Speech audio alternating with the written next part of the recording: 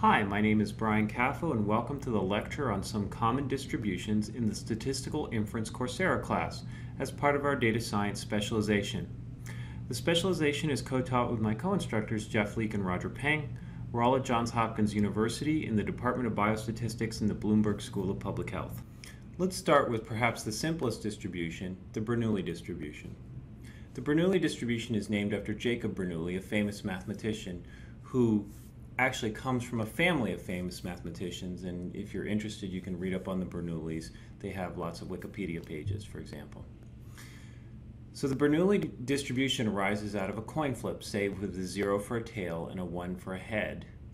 And you have a potentially biased coin with probabilities p for a head and 1 minus p for a tail.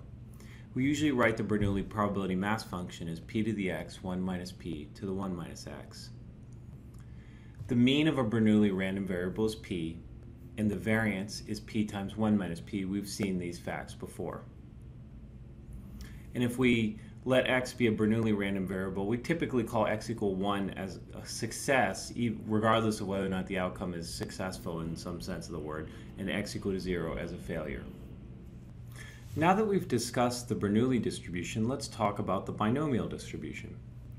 Bin a binomial random variable is obtained as the sum of a bunch of IID Bernoulli random variables. So ostensibly, a binomial random variable is the total number of heads on the flips of a potentially biased coin. Mathematically, let's let x1 to xn be Bernoulli p, then x, the sum of them, is a binomial random variable. The binomial mass function looks a lot like the Bernoulli mass function, though with n choose x out front. Recall that the notation n choose x stands for n factorial over x factorial n minus x factorial, and n choose 0 and n choose n are both 1. This solves a particular combinatorial problem of counting the number of ways of selecting x items out of n without replacement disregarding the ordering of the items. Let's go through a quick example of a binomial calculation. Suppose you have a friend who has eight children, seven of which are girls and none are twins.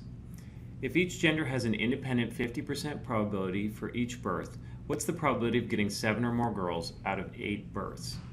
Well, let's plug right into the binomial formula. That's the probability of 7, which is 8 choose 7, 0.5 to the 7, 1 minus 0.5 to the 1, plus 8 choose 8, 0.5 to the 8, 1 minus 0.5 to the 0, which works out to be about a 4% chance. Here I give you the R code for performing this calculation.